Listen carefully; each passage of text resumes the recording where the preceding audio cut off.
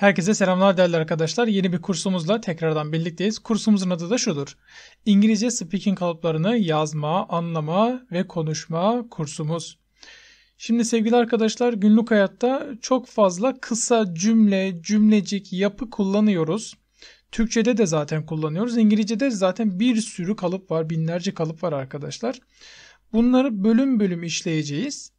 Her bölümde farklı cümleler, konuşurken diyaloglar halinde hangi cümleleri, hangi yapıları, hangi kelimeleri daha çok kullanıyoruz? Bunları bir speaking terim olarak düşüneceğiz. Zaten ben sürekli writing kurslarımda ya da genel kurslarımızda ya da odak kurslarımızda sürekli anlatıyorum size. İşte bu speaking terimi olabilir. İşte bu yazma terimi olabilir. Bu işte dinleme terimi olabilir vesaire. Bunları sizlere zaten sürekli bahsediyorum. Bu kursumuzda da konuşma terimlerini, speaking terimlerini, terim cümlelerini, terim yapılarını birlikte konu konu, bölüm bölüm inceleyeceğiz. Günlük hayata yansıtacağız. Bu bize günlük hayatta hangi durumda karşılaşırsak karşılaşalım bunlar bize bu cümleler eşlik ederek günümüze ışık tutacaktır arkadaşlar. Bunları tabi öğrendikçe, yapılarını kalıplarını öğrendikçe siz de aklınızdan başka cümleler geçirebilirsiniz. Mesela işte hoca burada bunu dedi ben bunu şu şekilde de çevirebilirim şekline de büründürebilirsiniz. Bu kursumuz speaking temelinde olacaktır. Ama tabi yazma konusunda unutmuyoruz. Bütün speaking cümlelerini, yapılarını yazarak işleyeceğiz. Bunu da belirteyim arkadaşlar. Kısaca hemen bölüm içeriklerine bakalım. Birinci bölümden 50. bölüme kadar gideceğiz. İsim sormadan başlıyor zaten. Şöyle yavaşça bakın arkadaşlar geçiriyorum. Sizler görebilirsiniz zaten. Aileyle alakalı sorular, iş meslek sormayla alakalı, bütün günlük hayat problemlerini, diyalog özelliklerini buradan rahatlıkla görebilirsiniz. Bunlar hep zaten biz kendi içimizde de yaşıyoruz. Bunları tekrar ediyoruz. Taksiye bindiğimiz zaman yapmamız gereken konuşma, trende, mağazada ya da dükkanda ya da alışveriş merkezinde, bir restoranda, lokantada vesaire, havaalanında özellikle havaalanında ya da bankada görüyorsunuz zaten arkadaşlar. Ve aynı zamanda 36'dan 50. bölüme kadar yaklaşık olarak da bir 10-15 bölümde burada karışık bir şekilde, mix bir şekilde speaking terimlerini, terim cümlelerini günlük hayata yansıtıp birlikte işleyeceğiz arkadaşlar. Birinci bölüme hepimiz başlayabiliriz. Başlıkları zaten oradan verdim arkadaşlar. Şimdi birinci bölümde isim sorma ile birlikte başlıyoruz. Türkçeler solda, İngilizceler sağda olacak şekilde yazacağız. Sonra da birlikte speaking yapacağız. Size nasıl hitap edebilirim? Şimdi sevgili arkadaşlar yani size nasıl seslenebilirim? İlk tanışmada zaten söylüyoruz bunları. Nasıl hitap edebilirim? Nasıl söyleyebilirim? Sizin adınızı nasıl işte söyleyebilirim? Telaffuz edebilirim şeklindeki cümlelerde hem call fiilini hem de name fiilini kullanıyoruz. Tabi bunları şuna çeviriyoruz. What would you like to be? Verb 3. Kalıp şu bakın. What would you like to be? İster called dersiniz, ister named dersiniz. Şöyle.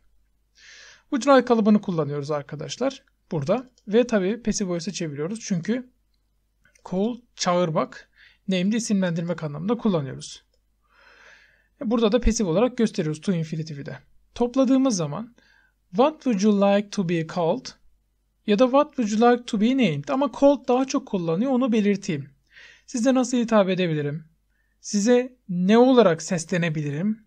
Vesaire yapıyı kullanabilirsiniz. Şunu diyor. Bana Vedat diyebilirsin. Sen diyebilirsin. Şöyle dersiniz. You can call me Vedat şeklinde diyebilirsiniz. Böyle demezseniz şöyle diyebilirsiniz. Just'ı da bu işin içine devreye sokabilirsiniz.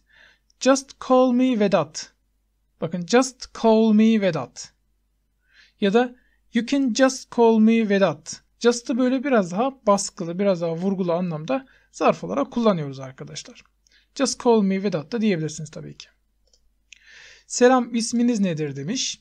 Selamı hello ile ya da hi ile birlikte verebilirsiniz. Hi biraz daha gayri resmi olarak söylenebilir. Hi dersiniz.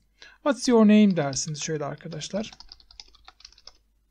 What's your name? isminiz nedir şeklinde rahatlıkla sorunuzu sorabilirsiniz. Merhaba ismim Rana diyor. Hello ile de yanıt verebilirsiniz. Hi ile de yanıt verebilirsiniz tabii ki. Şöyle ünlem koyuyorum. Merhaba diyor. My name is is Rana diyebilirsiniz. I am Rana diyebilirsiniz. Kısaltıp I'm Rana şeklinde kullanabilirsiniz tabii ki. Merhaba isminizi öğrenebilir miyim lütfen? Burada da öğrenme fiili giriyor. İster learn'ü ister have'i kullanabilirsiniz tabii ki. Learn'ü kullanmayalım. Have kullanalım. Öğrenebilir miyim derken de burada da bir istekte bulunuyor tabii ki. İsteklerde ne kullanıyoruz modul olarak? Bir ebilmek abilmek anlamında bir modul istiyor bizden arkadaşlar. Can kullanabilirsiniz. May kullanabilirsiniz. Hani may I derken, may I come in derken mesela içeri girebilir miyim? Orada ebilmek abilmek anlamında bir izin isterken kullanıyoruz. Burada da aynı durum söz konusu zaten. Can I da diyebilirsiniz. May I da diyebilirsiniz. Merhaba edemeyi unutmayalım tabii ki. Hello diyoruz. Şu ünlemi koyuyoruz. Hemen hızlı hızlı yazıyorum bakın. May I have your name Please'i de devamını ekliyor arkadaşlar. Şöyle soru işaretini koyuyor. Hello, may I have your name? Şöyle diyelim. Have your name please. Merhaba, isminizi öğrenebilir miyim lütfen şeklinde. Şöyle diyor. Selam, elbette ben Rana. Az önce vurgulamıştım şurada. I'm Rana, I am Rana diyebiliyorsunuz. Burada da bakın onu söylemiş. Ben Rana. Daha kısa ve daha gayri resmi. Selam elbette diyor. Selam anlamında yine hi kullanabilirsiniz. Şöyle ünlem koyuyorum. Elbette anlamında yes sure diyebilirsiniz. Absolutely diyebilirsiniz. Definitely diyebilirsiniz. Elbette anlamında ama sure daha çok böyle diyaloglarda kullanılabiliyor. I am ya da I'm Rana şeklinde de kullanabilirsiniz. Adınızı alayım lütfen. Mesela bu da farklı bir talep. Adınızı alayım derken şöyle diyebilirsiniz. Bir soru sormayın. E, bilmek bilmek anında can moduluyla birlikte. Let ile birlikte kullanalım bunu. Let me have your name. Bakın aklınız hemen nereye gitti? Al, alayım lütfen. Bakın alabilir miyim? Alayım. Can moduluyla birlikte belki sorabilirsiniz gibi bir anlam çıkartabilirsiniz orada. Bence gerek yok. Şöyle bir hatırlatma daha yapayım. İşte yapayımlı, edeyimli ifadeler daha çok letle kullanılabiliyor. Onu belirteyim arkadaşlar. Let me have your name please diyoruz. Şöyle ünlemi koyuyoruz. Adınızı alayım lütfen. Herkes bana Chao der diyoruz. Herkes everyone diyebilirsiniz. People diyebilirsiniz. İnsanlar şeklinde kullanabilirsiniz. Call bakın bana derler. Yani beni öyle çağırıyorlar anlamında call fiilini kullandım. Aramak anlamında kullanmıyorum bakın. Aramak değil. O farklı anlamı tabii ki.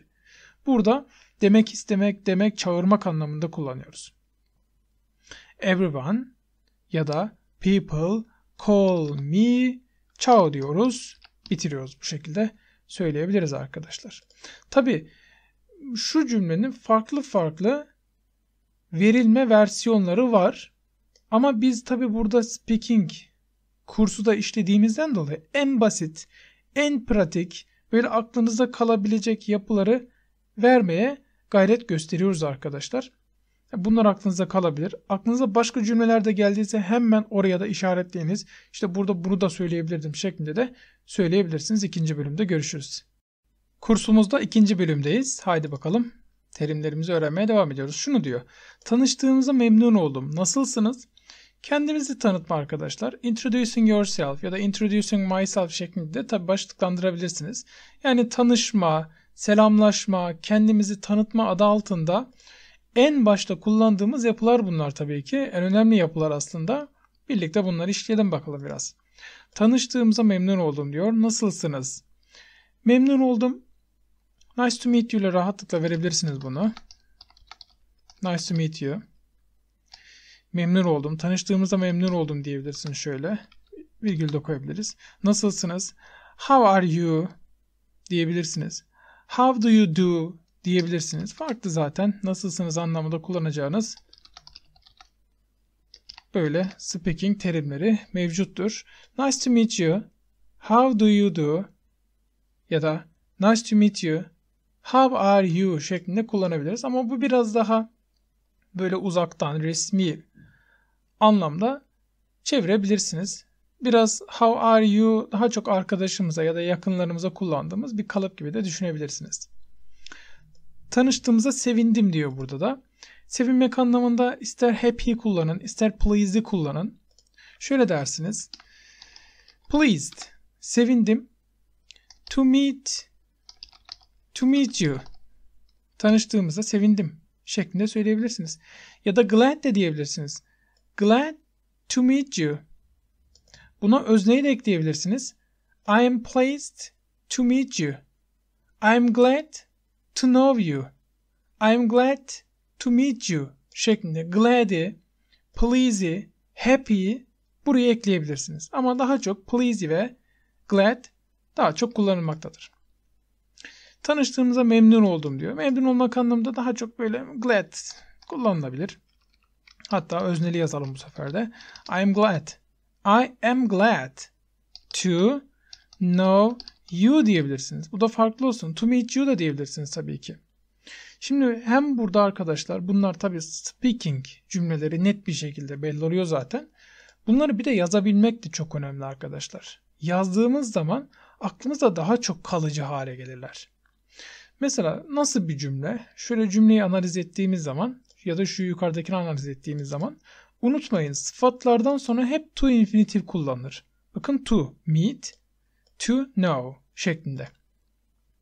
İşte bir şey yaptığınızda memnunum, memnun oldum, işte mutluyum, huzurluyum, gururluyum dediğiniz zamanlarda o gururdan, mutluluktan vesaire kullandığınız zaman fiili bakın to verb sıfır geliyor. Yani verb ing kullanmıyoruz. Burada gramatik olarak söyleyeyim.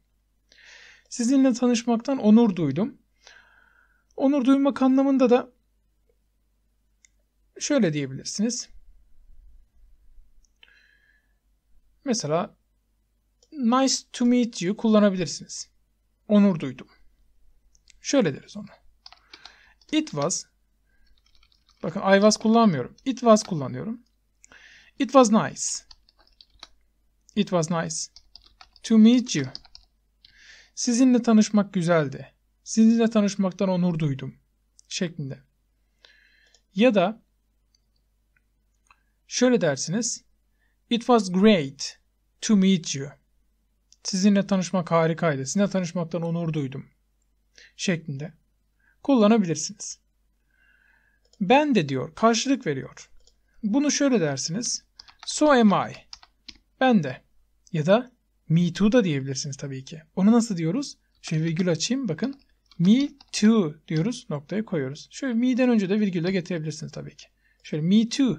Ben de. Bu to'yu D'de anlamında kullanıyor. Ben de şeklinde arkadaşlar. Ya da so am I'de olduğu gibi kısaltma yapabilirsiniz tabii ki.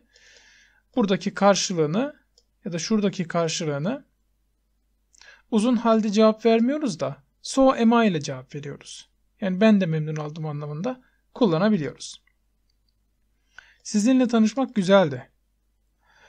Şöyle diyelim bunu da. Yine it was nice'ı kullanabiliriz.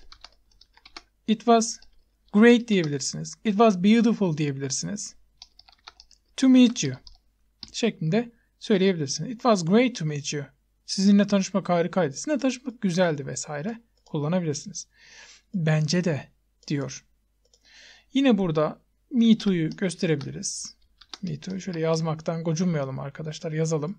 Ben de, bence de şeklinde yani bence de güzeldi anlamında kullanabilirsiniz. Sizinle tanıştığıma çok sevindim. Sevinmek anlamında burada farklı bir sıfat kullanalım. Delighted'ı kullanalım. Şöyle dersiniz. I am delighted. Memnun kaldım. Çok sevindim. Çok hoşuma gitti anlamında kullandım. To infinitive çalıştırıyorum. To know you. Sizi tanıdığıma çok sevindim anlamında kullanmış olduk. Bir derece üst bir sıfattır. Yani koyu bir sıfattır.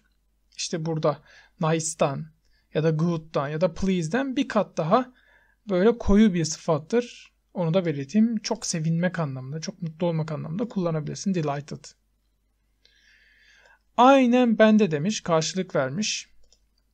Aynen anlamında kullandığımız same to you. Same to you. Yani sana katılıyorum. Aynen ben de öyleyim şeklinde kullanabilirsiniz. Seninle aynı fikirdeyim şeklinde gibi. Çok güzel kalıplardır. Sizi tanımak benim için ayrıcalık diyor. Bakın bu çok güzel. Privilege'i kullanabiliriz burada. Ayrıcalık olmak anlamında. Yani it öznesini koyuyoruz. It is a privilege diyoruz. Şöyle. It is privilege benim için for me bir şey yapmak. To know you. Şöyle. Bunu arkadaşlar it's a privilege for me to know you dediğimiz zaman bir arkadaşımıza tabii ki bu Türkiye'de değil yurt dışında konuştuğumuz zaman size farklı bir gözle bak bakarlar bundan sonra. Sizin İngilizce seviyenizin iyi olduğunu anlayacaktır zaten. Şunu diyor, bil mukabele. Yani aynen ben de sana katılıyorum. Yani bence de anlamında. Likewise, I am. Bil mukabele. Likewise I am. Yani bence de öyle şeklinde. Ben de sana katılıyorum gibi söyleyebilirsiniz. O David gel, Diana ile tanış. O Fransız diyor. Şöyle. O diyoruz. David gel diyoruz. David come. Come. And tanış. Meet Diana diyoruz. Diana. Yani Diana da diyebilirsin. Diana da diyebilirsiniz tabii ki. Meet with kalıbını kullanmıyoruz. Biri ile tanışmak anlamında with edatına gerek duymuyoruz. Sadece meet Diana şeklinde kullansak bizim için yeterlidir arkadaşlar. O Fransız diyoruz. She is is from France diyoruz. Ülkeyi veriyoruz. Bunu bitiriyoruz. She's from France. O Fransa'dan, o Fransız şeklinde kullanabilirsiniz. Ya da she is French şeklinde de söyleyebilirsiniz. Milliyetini. Merhaba Diana, selam David şeklinde bir diyalog var burada. Hello Diana diyebiliriz. Cevabın cevabı da hi ile karşılık verilebilir tabii ki. Hi David şeklinde şöyle ünlemi de koyarız. David geldin demek. Diana'yı tanıyor musun? David geldin demek. Şöyle arkadaşlar. Hani demek geldin, demek buradasın anlamında. Ya here are'ı kullanırsınız. Here you are ya da there you are'ı kullanabilirsiniz. There you are David şeklinde. Demek geldin David. Demek buradasın David. There you are David şeklinde kullanabilirsiniz. Diana'yı tanıyor musun diyoruz. Bunu present perfect tense'de yapsak çok daha iyi olacaktır. Ya da yapmaya da bilirsiniz. Simple present tense de olur. Do you know Diana diyoruz. Soru işaretini koyuyoruz. Do you know Diana? Diana'yı tanıyor musun? Ya da Diana'yı biliyor musun? şeklinde söyleyebilirsiniz. Hayır henüz tanışmadık. Heh, bu present perfect tense oluyor işte. Henüz anlamında bir yet kullanabilirsiniz. No diyoruz ilk olarak şöyle. No. Aslında present perfect tense de gerek yok. I don't know her. Onu tanımıyorum. Hayır onu tanımıyorum. I don't know her. Yet deyip cümlenin sonuna kapatabilirsiniz. Ya da present perfect tense dediğimiz zaman da no dersiniz. I haven't known her yet. Yani daha önce henüz onunla tanışmadığım anlamda kullanabilirsiniz. Ama tabii ben geçmişe gitmek istemedim. Present halde kalmak istedim bu şekilde. Zaten soruyu da simple present tense'te sorduk. Cevabı da onunla birlikte vermemiz gerekiyor. David Diana ile tanıştınız mı? Şöyle David diyoruz. Virgülü koyuyoruz. Ha ben mesela bu daha öncesine atıf yapabilir. Bu present perfect tense olur işte. Have you Have you met Diana? David, have you met Diana? David, Diana ile tanıştınız mı? şeklinde sorabilirsiniz. Geçmişe gönderme yapıyor gibi düşünebilirsiniz. Evet spor salonunda tanışmıştık. Yine bakın bununla birlikte soruyor. Tanışmıştık diyor. Geçmişe gidiyor. Ama tabi unutmayın tanışma eylemi, bilme, konuşma, birbirlerinin tanıma eylemi önceden gerçekleşiyor ama bu sürece bağlı olarak günümüze de geliyor zaten. Bir hafıza kaybı olmadığı sürece o kişi hala hatırlayacaktır anlamında çıkıyor. O da geçmişten günümüze hala gelen bir eylem olarak düşünebilirsiniz. O yüzden present perfect tense kullanıyoruz. Unutmayın arkadaşlar. Simple past tense neden kullanmıyoruz diyebilirsiniz. Geçmişte olmuş, bitmiş, daha olmamış, devam etmemiş eylemlerde simple past tense. Ama tanışma eylemi, bilme eylemi geçmişte olmuş ama hala devam ediyor. Hafıza kaybı diye bir olay yok. Hala devam ettiği için işte bu yüzden yakın geçmiş zamanı kullanıyoruz. Evet diyoruz. Yes diyorum. Virgülü koydum. We have Hatta buraya bir zarf da ekleyebilirsiniz. Already de kullanabilirsiniz. Hani çoktan şeklinde zaten anlamında kullanabilirsiniz. Zaten tanışmıştık şeklinde de kullanabilirsiniz. Nerede? At the gym. Spor salonunda tanışmıştık şeklinde zaten tanışmıştık şeklinde kullan. Bir ek yaptım buraya. David seni Diana ile tanıştırayım. Hemen David diyelim şöyle. Hani hatırlayın yapayımlı, edeyimli ifadelerin neyle veriyorduk daha çok? Let kalıbıyla değil mi? Speaking terimlerinde bu yımlı yimli ifadeler çok kullanılır. O yüzden let'e de alışmanızı tavsiye ederim arkadaşlar. Let me ben yapıyorum çünkü bakın. Özne let'ten sonra gelir, özne olmaktan çıkar ve bu me'ye dönüşür. Bende me'ye dönüşür. Sende you'ya dönüşür. Kadınlarda her olur, erkeklerde him olur. Let him hani tanıştırasın şeklinde. Ya da ben olduğum zaman tanıştırayım şeklinde. Me'den sonra da verb sıfır kullanırsın. To'ya gerek duymadan. Tanıştırmak introduce'u kullanacağız. Şu şekilde. Let me introduce. Tanıştırayım. Diana. Diana'yı tanıştırayım. To you. Seninle şeklinde ünlemi koyuyoruz. David. Let me introduce Diana to you. David seni Diana ile tanıştırayım şeklinde. With you kullanmıyoruz. Bakın introduce to. Birini biriyle tanıştırmak kalıbıdır bu. Introduce to. Introduce nokta nokta to nokta nokta şeklinde. Merhaba Dave. Biraz vaktin var mı? Hey diyebilirsiniz. Hello diyebilirsiniz. Hey biraz daha yakın bir kalıptır. Dave ünlemi koyuyoruz virgülü koyuyorum. Biraz vaktin var mı? Şöyle. You got a minute. You got a minute. Biraz vaktin var mı? Ya da have you got a minute diyebilirsiniz. Ya da do you have a minute diyebilirsiniz. Bu şekilde vaktin var mı? Biraz vaktin var mı şeklinde kullanabilirsiniz. Ne diyor devamında? Diana ile tanış. Şöyle dersiniz. This is Diana. Diana ile tanış. This is Diana. Yani bu Diana anlamında kullanıyoruz. Tanıştığımıza memnun oldum Diana. Şöyle deriz. Kısaltıyorum arkadaşlar.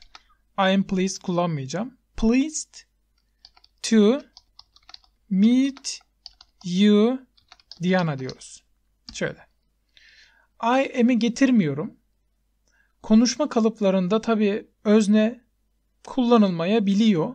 Onu hatırlatayım. Tabi yazarken mutlaka kullanmamız gerekiyor ama burada tabi speaking terimleri kullandığımız için sizlere en kısa yollarını gösteriyorum. Pleased to meet you Diana. Tanıştığımıza memnun oldum Diana şeklinde.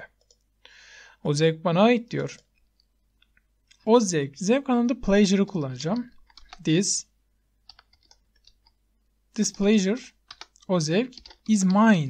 Yani benimdir. O zevk bana ait anlamda. This pleasure is mine diyoruz. O zevk bana ait kalıbını burada kullanmış oluyoruz. Diana'yı takdim edebilir miyim? Ben edebilir miyim? Yine bir izin istiyoruz. Mail'e kullanalım. Mail'e de alışalım. May modal'dır. Ebilmek, abilmek anlamda izin isterken vesaire kullanabilirsiniz. May I takdim etmek, sunmak anlamında present'i kullanalım. May I present Diana diyoruz. Şöyle soru işaretini koyuyorum. May I present Diana? Diana'yı takdim edebilir miyim? şeklinde arkadaşlarından izin istiyor. Size katılabilir miyim demiş. Katılmak anlamında join fiili çok çok kullanılır. Yeni bir izin. May I join you? Katılmak anlamında hocam attend de kullanmak istiyorum. Kullanabilirsiniz rahatlıkla ama tabi join biraz daha halk arasında kullanılan katılmak fiilidir. Elbette ne demek demiş. Yes dersiniz. Sure elbette bunu öğrenmiştik zaten. Ne demek? Yani problem değil anlamında. Not important dersiniz. No problem at all dersiniz. Farklı kalıplar kullanabilirsiniz. At all. Yani hiç önemli değil anlamında kullanmış oldum burada arkadaşlar. Not important diyebilirsiniz. It is not important diyebilirsiniz. No problem at all diyebilirsiniz. Ne demek anlamında kullanabilirsiniz. Sizinle biraz laflamamın sakıncası var mı? Sizinle biraz hani konuşmamın bir sakıncası var mı? Şeklinde sakıncası var mı kalıpları do you mind ile birlikte başlarsınız. Do you mind kalıptır. Bakın bu bir sakıncası var mı anlamında. Sonra if clause kalıbını if kalıbını kurarsınız. Do you mind if laflamak anlamında have a word'u kullanacağım.